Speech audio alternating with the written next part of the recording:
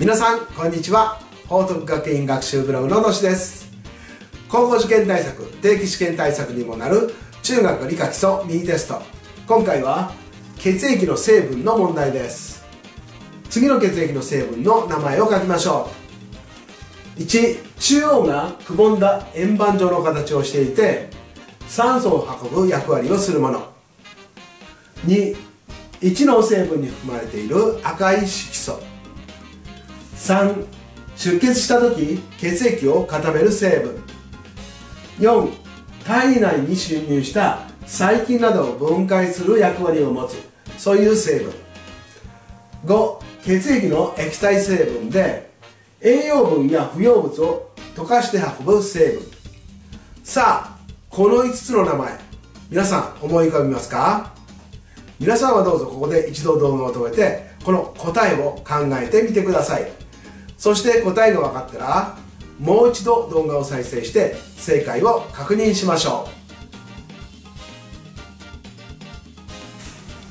正解はこうなります。1の中央がくぼんだ円盤状の形をしていて酸素を運ぶ成分。これは赤血球です。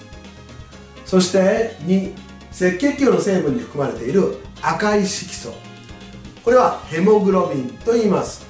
ヘモグロビンは酸素が多いところでは酸素とくっついて酸素が少ないところでは酸素を離す。そういう性質を持っています。3出血した時血液を固める成分。これは血小板ですね。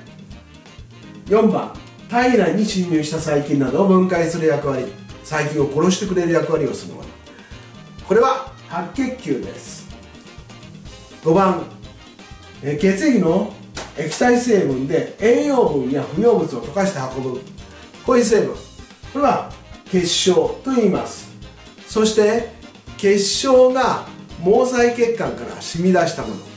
これを組織液というのでこの組織液という言葉も一緒に覚えておくといいです。今日も最後まで見ていただきどうもありがとうございました。ではまたお会いしましょう。さようなら。